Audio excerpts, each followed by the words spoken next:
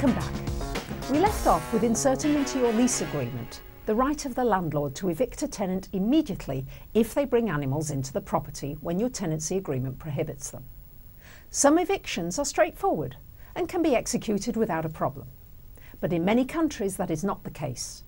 In some countries, you just have a sheriff come to the house and you get permission to put all the tenants' belongings out on the curb in front of the property, change the locks on your doors, and as long as they've signed the lease that tells them you have that right, you are protected.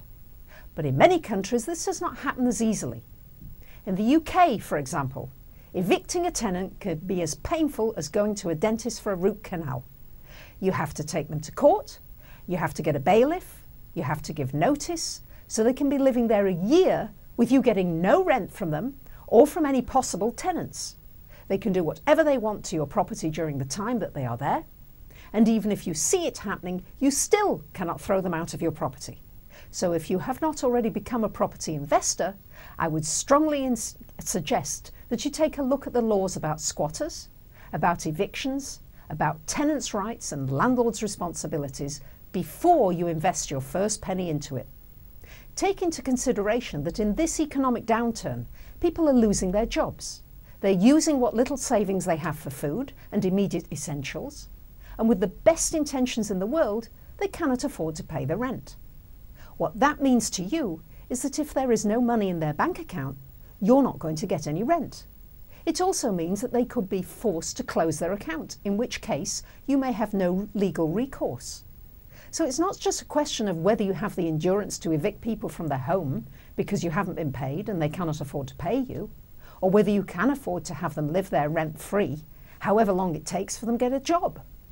Now, if none of these things make you nervous and you feel that you can handle all of these issues in a way that won't be terribly stressful for you, either emotionally or financially, or both, when you feel that you will get a good return on your money in this market, or you're willing to wait another 10 years before the market turns around well enough for you to get a good return on your money, then go for it. Become a property investor. So, to summarise, make sure you know the law in your country regarding tenants' rights and landlords' responsibilities. During a downturn economy, your tenants may lose their jobs and may not be able to pay your rent. Evicting tenants is costly and time consuming, and you may not be able to make a good return on your property for at least 10 years. I had an email from a viewer, Mrs. L, who writes about a previous show on credit cards. She writes, I do not agree with your advice that credit cards ought to be used only for emergency purchases. That may have been the case when they were instituted, but that may have been before the days of bank fees. Nowadays, those who are in a certain age group and who are not students are hit with bank fees for every withdrawal. Because of this, ever since I had a credit card, I feel bound to use it for every purchase, or I'll be stung by a bank fee for withdrawal. In fact, I get annoyed when using a retailer who does not accept credit cards. I do not like carrying large amounts of cash. Mind you, I do pay off my credit card every month, and my annual account fee is only $25. I extol the advantages of using a credit card to those in my age group at every opportunity. I went away for three weeks without my credit card and had to withdraw hundreds of dollars in cash to avoid fees. I did not like carrying large amounts of cash. Well, thank you for your email. As long as you pay off your balance every month, it doesn't matter whether you use credit cards or not.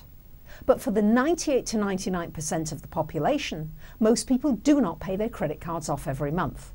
Therefore, what I said on my program still goes. You are in the 1 or 2% who do not carry a balance, who will not be paying exorbitant APR rates of interest. Therefore, you would be one of those people I term as having no credit card debt. If you will recall on many of my shows, I spoke about the necessity to pay off credit cards and not to carry debt.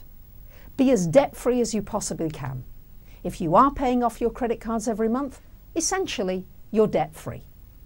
Next week, we'll look into some legal issues involving evictions and money laundering that may arise between landlords and tenants. See you next week.